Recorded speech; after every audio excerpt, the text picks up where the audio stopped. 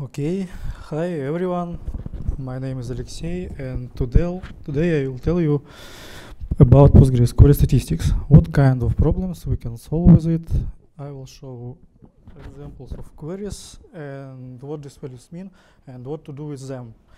Also, here's a short link with presentation. You can download it and try these queries on your Postgres installation and things about which I will not talk. I will not talk about query planner statistics, uh, Postgres activity statistics, and query planner statistics are different topics. Also, I will not talk about utils and tools that works with stats. Only PSQL and plain text queries. Uh, I want to go out of this talk with a few take-home messages. I want to convince that the PostgreSQL stats is useful and solves many problems. By default, Postgres stats are provided in plain text form and may seem the stat is to be inconvenient to use, but this is, isn't true. I will start from simple queries examples and you can see that the stat isn't scary. Examining these queries examples, I will show which stats should be used in particular cases. So let's start. What is Postgres from system administrator's point of view? If we use system activity tools such as top or similar, we will see some processes. We can estimate, we can see how many resources they consume. Uh, CPU, memory, swap, disk or network utilization, but nothing more. If we want to understand what is going on inside the Postgres, uh, we should use special tools and utils. And these tools provide an interface to Postgres stats. Postgres is a complex piece of software that is comprised of many subsystems. Let's have a look at this picture and try to answer the question where Postgres spends its time. And here we have two answers. First is the service and client queries, and second answer is the background operations. Let's review both cases and begin from top. Imagine that we have a client application that works with, with a database. For any client, Postgres creates a dedicated process which we call a backend. The application sends queries to the backend and the backend accepts queries, plans them, and executes. Next, uh, running a query requires reading or writing some data to tables and indexes. This is being done using the shared buffers. If it's a simple select query, data is read from disk into the shared buffers and the results is returned to the clients. If it's a data modifying queries such as update, insert, or delete, changes must be committed and all data changes are written to write ahead log. In this way, Postgres works with clients. Mm, next, we have background operations that are invisible to the clients. These are query logging, flushing dirty data to disks, auto vacuum processing write ahead log, for example, logical decoding or sending to streaming standbys. As we can see, Postgres isn't a simple thing, and if a problem comes up in some part of Postgres, it may influence on other Postgres parts. And here, Postgres stats will help to track Postgres subsystems activity, estimate its effectiveness, and suggest some optimizations. Mm. but there are a few problems with stats. First problem, there are too many stats in Postgres. For example, in the current release, there are over 100 items, and number of items directly depends on number of databases, tables, and indexes in the whole instance. The second problem is that the stats are provided as permanently incremented counters and you can see billion values in stats and these values say nothing to you. It's very hard to track changes in very large values. Third problem is that there is no history for stats. There is no simple ways to see stats of 5, 15 or 30 minutes ago. Uh, you can use third-party tools which allow to solve this issue, but Postgres doesn't have built-in tools for that. Uh, next problem is the absence of built-in tools for working with stats. You can use only SQL, PSQL, and self-written SQL queries. Yes, it's maybe flexible, but also it's too hard for beginners. And this problem entails the next problem, and a lot of monitoring tools for Postgres are available, and they have different sets of features. Uh, often you need to use two or three tools, since one tool would have features that another tool doesn't. Well, a simple way to not suffer from these problems is to know what is provided by stats and how to use it as is. It's important to be able to use stats directly from Postgres and without any special tools. It requires basic SQL skills for writing queries. stats are based on counters on shared memory and every counter is associated with a specific event and increments when this event occurs. Special functions are used for extracting values from these counters and there are many such functions. And to make them usage easier, functions are organized into views and by default there are about 20 different views and you can create your own views with your own set of functions. In addition to built-in functions, we can use stats from additional extensions. There are official and unofficial extensions, and official extensions are collected in the contrib package and can be installed from official Postgres repo. Unofficial extensions is not supported by Postgres team, shipped without any warranties, and should be used at your own risk.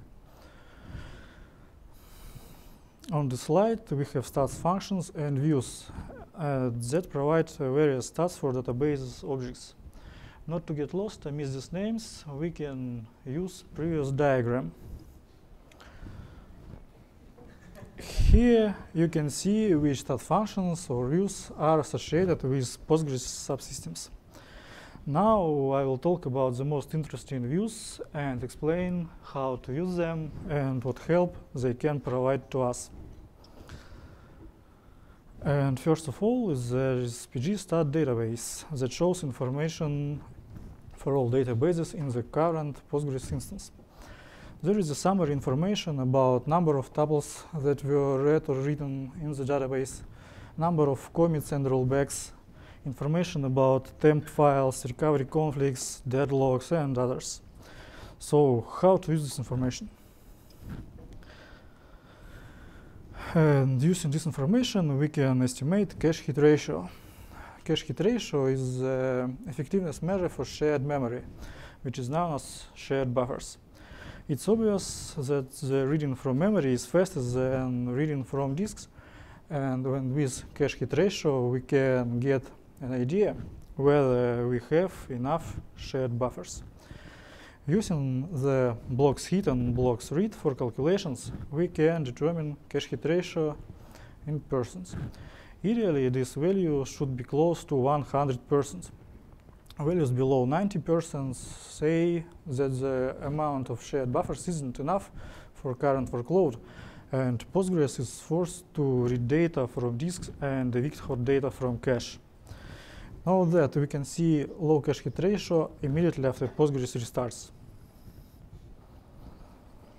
Another use case is tracking anomalies such as rollbacks, recovery conflicts, deadlocks, and temp files. By anomaly, I mean an unwanted event happening in the database and not bugs. As with cache hit ratio, we can calculate commit ratio using transaction commit and transaction rollback values. If the number of rollbacks is too high, you should direct your attention to the application and investigate why too many operations end with rollbacks. Uh, anyway, it's bad behavior when an application does something, change data, or spends time, and in the end rollbacks its results. And on this slide, I put caution values, and if you see such values, you should be worried. It's also important to track recovery conflicts and deadlocks, investigate causes, and eliminate them. Recovery conflicts are related to streaming replication, and this means that the queries running on standby has been cancelled. Detailed information about conflicts can be found in server logs or in pgstat database conflicts view. Deadlocks are unpleasant events too, and detailed information about them can be found in server logs.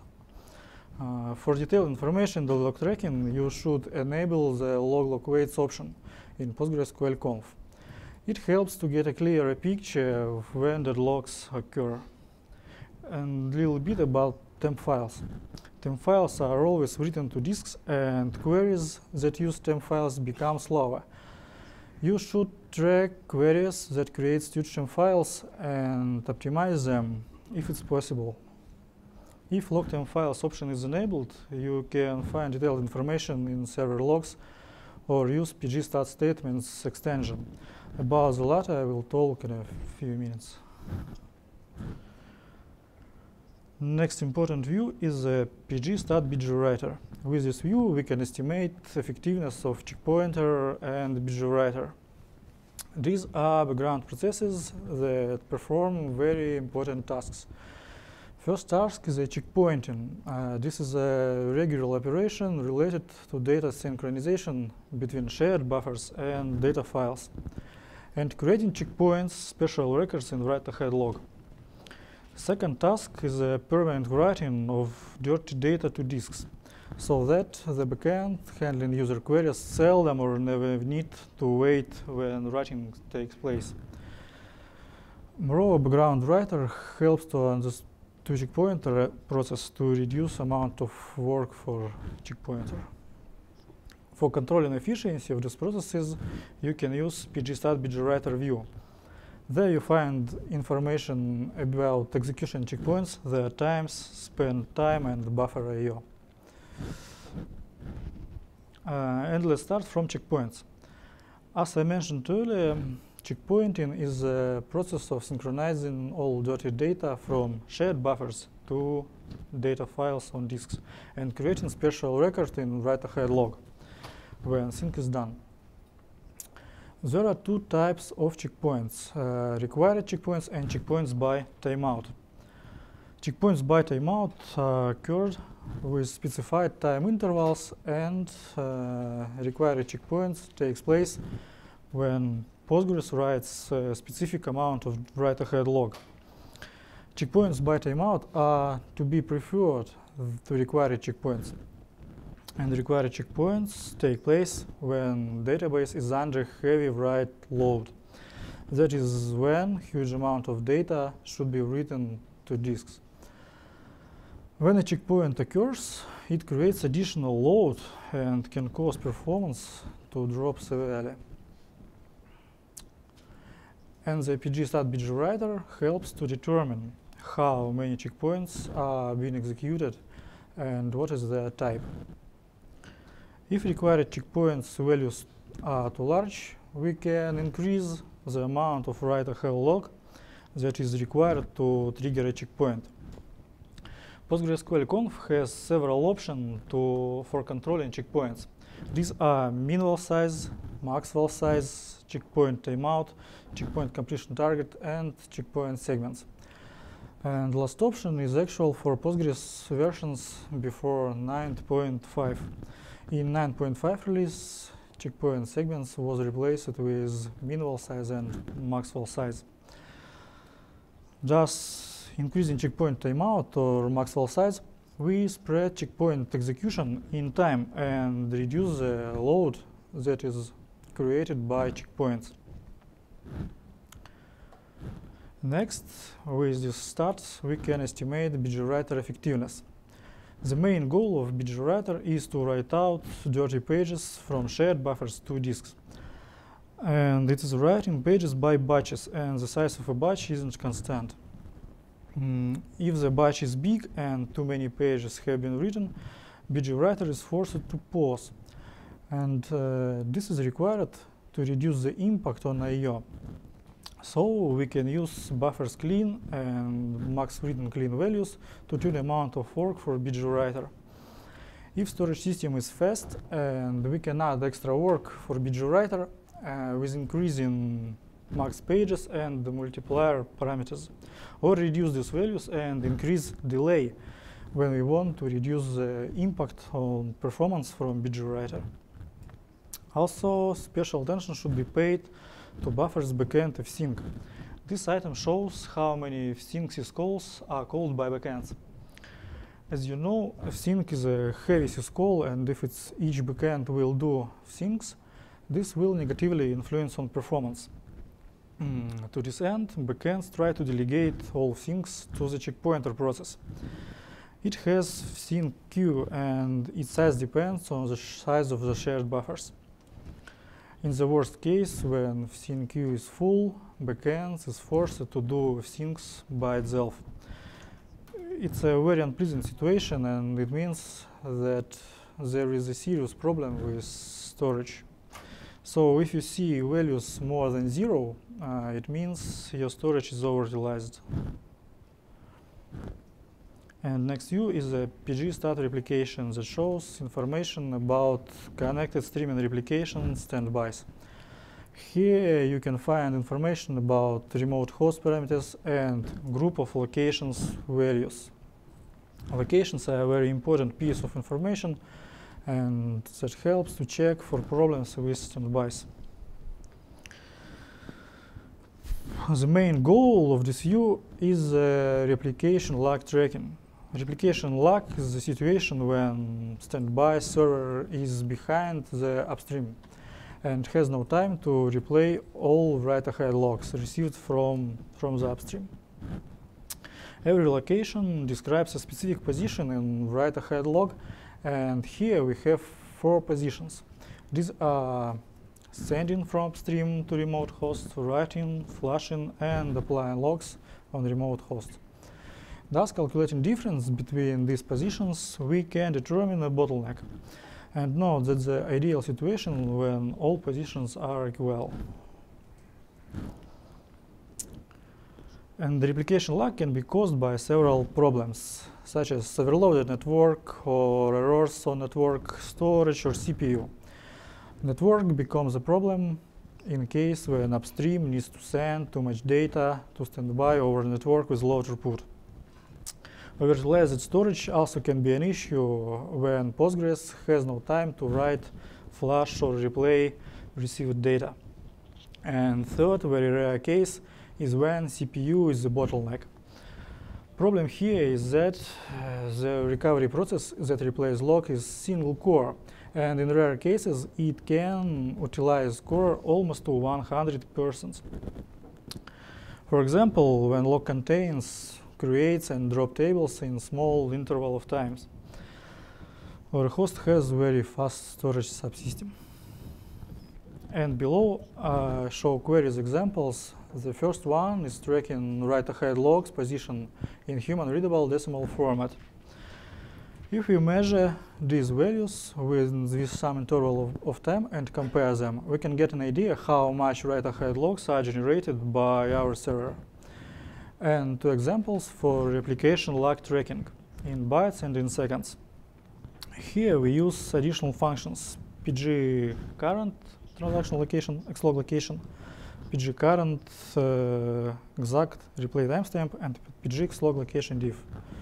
And a few words about lag in seconds. This query can run only on standby server and has one drawback.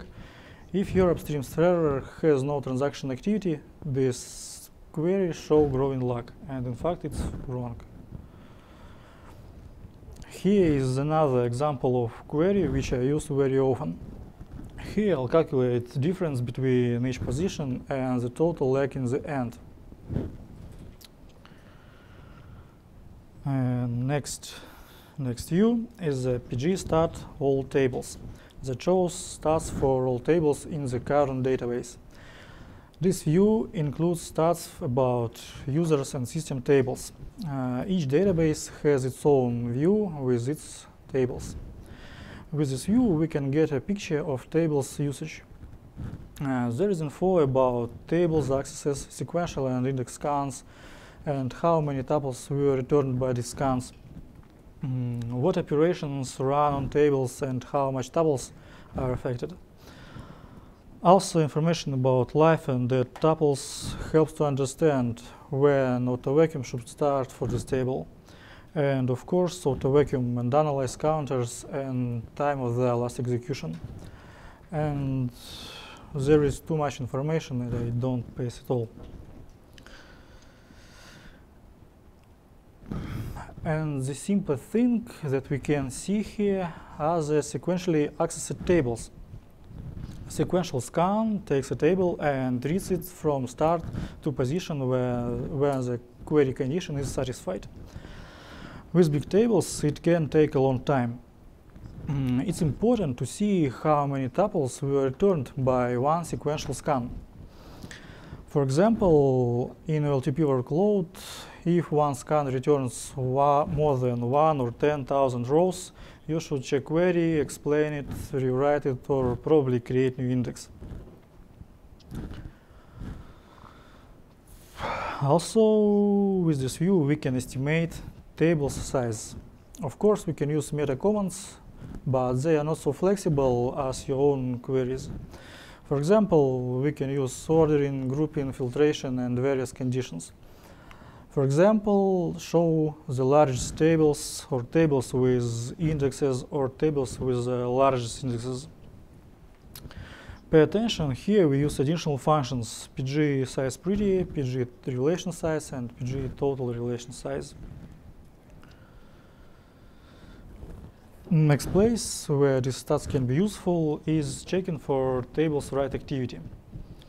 Write operations are heavy operations and if it's possible to make them more lightweight, it should be done. Update operation, in fact, consists of two operations, delete and insert. When tuple is updated, uh, old tuple is marked as removed and new version of tuple is inserted. Uh, additionally, index entries related to these tables also should be updated. Thus, tuple updating is a demanding operation. And for reducing write overhead, hot updates were introduced in Postgres 8.3. This avoids index updates in case when non-indexed values are updated. Mm, for view and stats, two fields are available, ntap and ntap hotupd. Using them, we can determine hot updates profit. Thus, we need to answer questions how to increase number of hot updates. For increasing number of hot updates, we can play with fill factor option. What is fill factor? This is a page packing percent ratio and can vary from 10 to 100 persons. It works in the following way. Mm, when new tuple E are inserted in the table and the new page is allocated, this page is filled by new tuples according to fill factor. If fill factor is below 100%, uh, new page will have free space uh, that can be used later or for update operations. New version of a tuple can be written in the free space. And in this way, hot updates will occur more frequently and it's positive fact for performance. But there is a drawback in fill factor. Uh, the lower fill factor you use, the more space tables will take. Another thing which can be useful is viewing list of tables that should be vacuumed. Unfortunately, Postgres at this moment doesn't offer a simple way to show this information. So we will use a slightly more complex way. To do this, you need an additional function, current settings, that shows specified Postgres setting. But how does Postgres know that the table should be vacuumed? When AutoVacuum worker starts, it builds list of tables that should be vacuumed analyze it, or both. It will process tables that have a number of dead tuples mm, larger than a threshold. The threshold is based on the number of tuples in the table and following settings. Vacuum scale factor and vacuum threshold. Tables to analyze are determined in a similar way, but instead of the tuples, number of changed tuples in since last analysis is used. Thus, we can write a query that shows this information. Uh, if you count rows in this list, we can get uh, something like a auto vacuum queue size. But note that these parameters can be overridden for particular tables with alter table command. And this query doesn't account for it. But our colleagues from Avito company implemented a plugin for Munin that accounts for these specified settings. The query used there can be found at this URL. Unfortunately, in Postgres 9.6, stats collector will have dedicated functions that allow us to track auto vacuum activity and progress. Next view is the PG stat all indexes. This view is similar to the previous one and describes indexes stats. It helps to estimate how actively indexes are used. Here we see index names, number of scans, and how many tuples are returned. Practical usage of this view is searching for rarely used or unused indexes. Unused indexes in the database are very bad. They take space and amplify write operations because write operations concern not only tables but indexes too. Also, indexes are vacuumed during tables auto vacuum. Thus, periodically we need to check database for unused indexes and remove them. For that, we should find all unused indexes with zero index scans. Found indexes should be remembered and removed. Mm, but be careful here, indexes that are not used on master can be actively used on standbys and vice versa. Be sure that the indexes are not used on all hosts in the cluster. Also, I recommend to pay attention to the following URLs. There you can find useful and extended examples for unused queries searching, unused indexes searching. Sorry. Next and very useful view is the PG stat activity. It contains information about connected clients and queries that run at this moment. Each line in this view corresponds to a Postgres backend. In it, it uh, we have various information such as backend PID, remote host information, start time of backend transaction or query, uh, backend states, and current or last executed query. The most simple thing we can get from this view is uh, information about overall database's activity. For example, number of used connection in persons. As you know, number of client connections are limited by max connection option in PostgreSQL It can be useful to track when number of connections is close to the limit. With this query, we can see how many connections in persons are opened to the database. Also, this view can be used for tracking how many and what users are connected to the databases. It's useful when we need to know who hijacked all the connections. And in this example, cron role is the bad boy Another way to use this view is checking for long transaction and queries. Here we need the following columns, backend start, transaction start, query start, and state change. For calculating the age of query or transaction, we need to use an additional function, clock timestamp, that shows current time. Calculating the difference between what values we can get the age of a transaction or a running query. And what should we do with query or transactions that take too long? Remember them, terminate, and optimize queries or applications that executes them.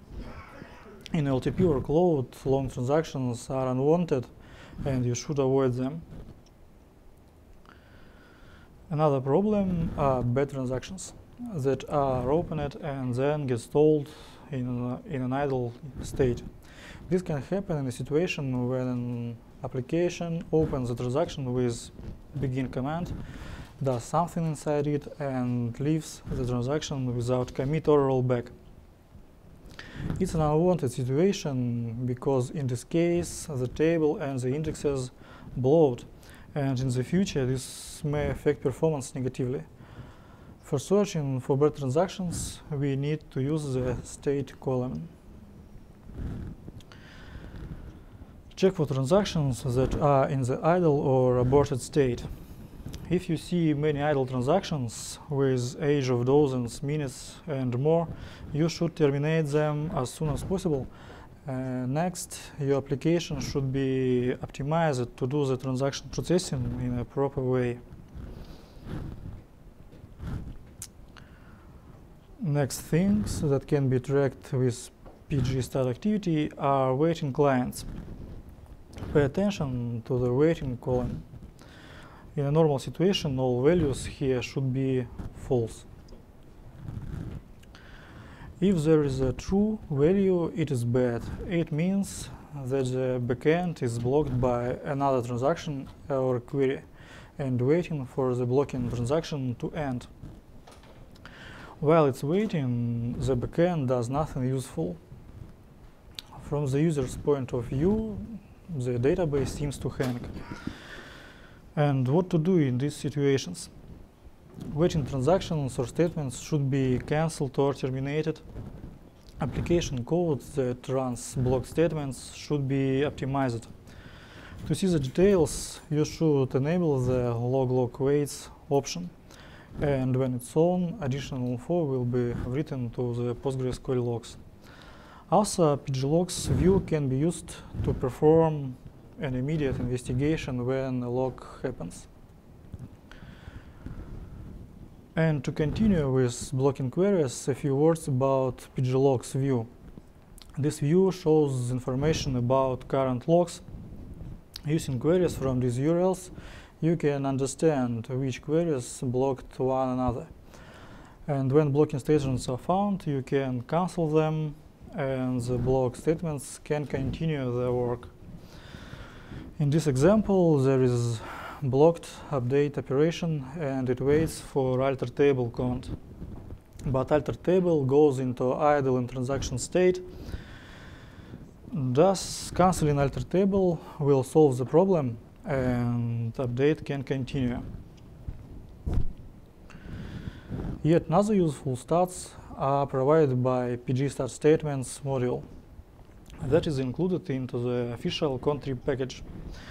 Before using PG-stat statements, you should load a library and create an extension in a database. When all conditions are satisfied and the extension is created, stats are gathered permanently and can be viewed in, in the PG-stat statements view. This view contains one row for each distinct query, user ID, or database ID. Also, there are other useful stats related to these statements number of calls, total rows that were returned, timings, and resource consumption. There are IO stats, how many blocks are read or from shared buffers or disks, how many buffers are written or dirted. Stats about I.O. related to local memory and temporary files. And finally, timing for I.O. operations. There are many ways to use these stats uh, for example, we can calculate average query time for a Postgres instance. It's a database's common health metric which can be used to track database response time. If slow queries occur, this average time will go up. Also, we can analyze IO stats, for example, to find statements that write data to the shared buffers more frequently than others, or statements that create too much temporary data or use a lot of local memory. Another way to use PG-stat statements is to make queries reports. Module has functions for resetting stats and it's possible to gather stats for a period of time and make them into the reports. This way of query reporting is more convenient than log parsing. It's fast and doesn't consume much CPU or IO resources. A common way in this case is calculate summary stats for all statements and then calculate the stats for particular statements and determine the ratio in the summary stats. In this example, the select statement has a total execution time of over 15 hours uh, that constitutes 14% of the summary time. Using the total time, block read time and block write time columns, we can calculate isolated CPU or block IO time usage. Thus, we can make a report with top problem queries and optimize them. Well, there are a lot of stats, and unfortunately, I have no time to describe all of them. I will just briefly say about a few words about other useful stats. Besides stats that I have mentioned so far, there are stats for tables and indexes buffer IO. pgstatio all tables and pgstatio all indexes. Also, there is a view which describes functions usage stats, pgstat user functions. There you find the number of calls and execution time. Also, there are many functions for counting sizes of databases objects. All these functions can be listed with df meta command in PSQL. Official contrib package has not only pgstat statements, but also two other interesting modules. First is the pgstat tuple that allows to estimate the bloat in indexes and tables. But be aware, estimation time directly depends on tables or indexes size and consumes extra I.O. Second module is a PG buffer cache that allows to inspect the shared buffers. It shows how many free or dirty buffers are there and their usage. But using PG buffer cache functions can cause performance impact, which is caused by shared buffer scanning. Besides official contrib package, there are many third-party modules, for example, PG FinCore or PG StatKCache. They are unofficial modules and they are not in the contrib package. PG FinCore includes functions that helps to perform low-level inspection for operation systems page cache and determine which tables and indexes are in the page cache. Another module, PG StatKCache, allows to determine CPU and disk utilization by SQL statements. This is possible using getrusage system call that is invoked before and after executing statements. This module doesn't have serious performance overhead, but to use it, you should Postgres 9.4 and pgstat statements enabled in your database. Well, that is it, and I want to sum up a few take-home messages. First, as you saw, statistics can be very useful. It allows to keep an eye on your database, find and prevent different kind of problems and bottlenecks. Second, stats in Postgres isn't difficult or complicated. Third, Stat can help you to answer the questions related to performance issues or problems in the database. And last and important, try to experiment with stat, write new queries, change them, optimize, try to construct ideal queries for your Postgres. Detailed information can be found at these URLs that I highly recommend. And that is all. Thanks for your attention. And if you have any questions, feel free to ask them and my colleague Lia will help me if I can problems with communications. That is it.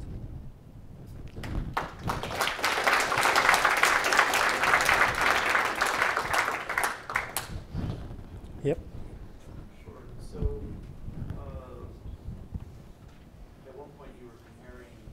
Uh, uh maybe you speak louder.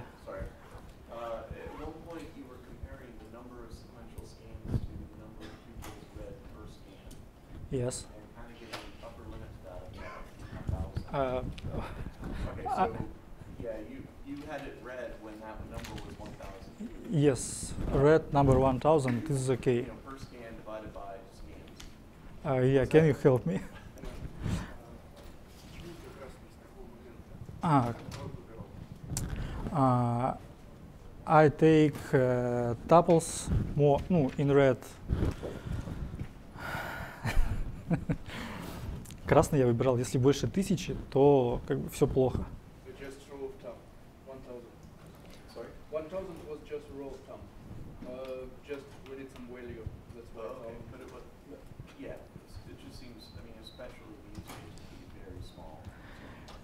Um,